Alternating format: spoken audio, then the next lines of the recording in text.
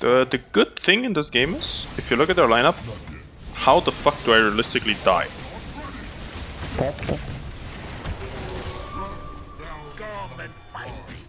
Well, I die only to Tusk.